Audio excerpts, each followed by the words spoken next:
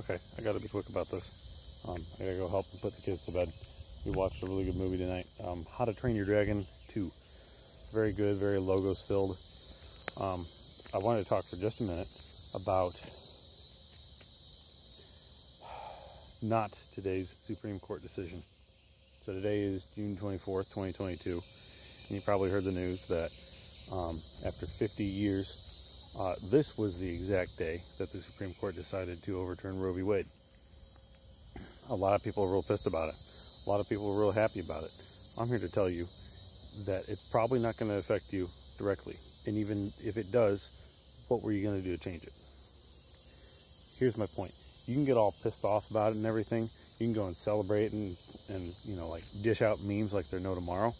And that's fun for a time and that's satisfying for a time to get all angry or get all, you know, schadenfreude.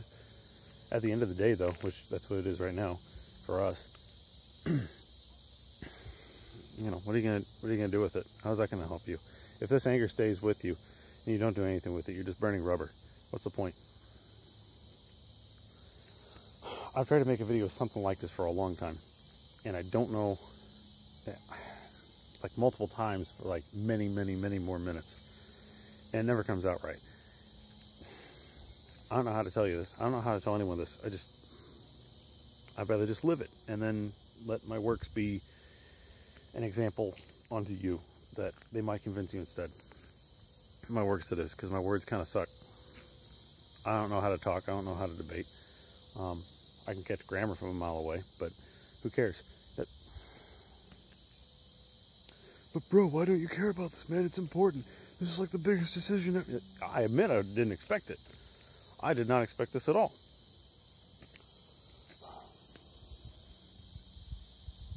Why don't you care about it, bro? I just... I went to work today. I did work.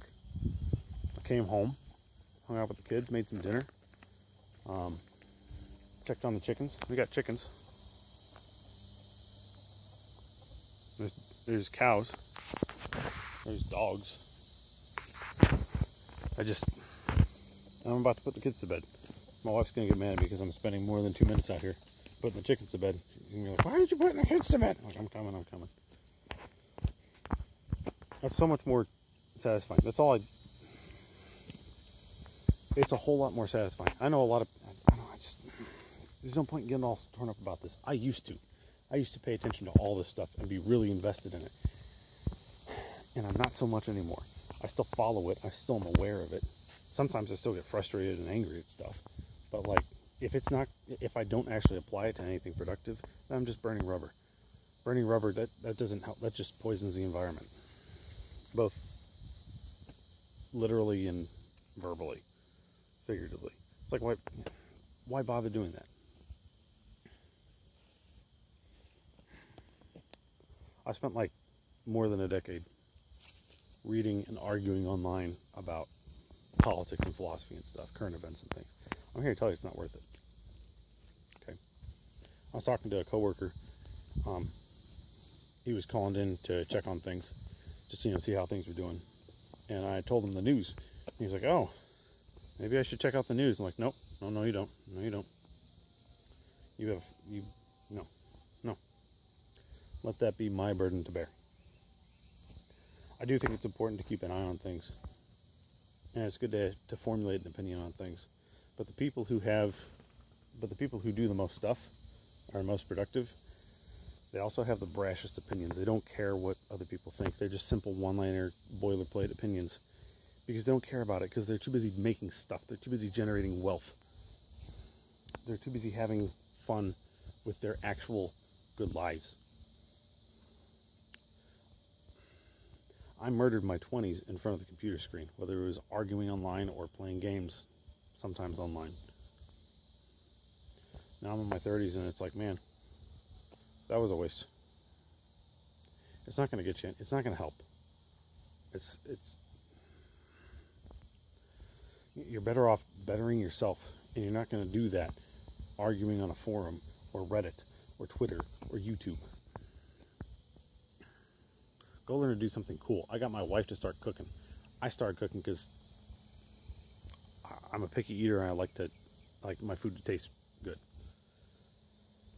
And it took her a long time to overcome that sort of mental hump of like, oh, I can do this too. And it's okay to start small. Anything worth doing is worth failing a couple times at the beginning. That's fine. You'll get there. I don't know what you want to do, but I'll be something productive, and I'll be something more. Hey, I'll be something more productive than arguing online or following all this stuff. Maybe your goal is to be a revolutionary. That would be more productive than just letting your passion burn.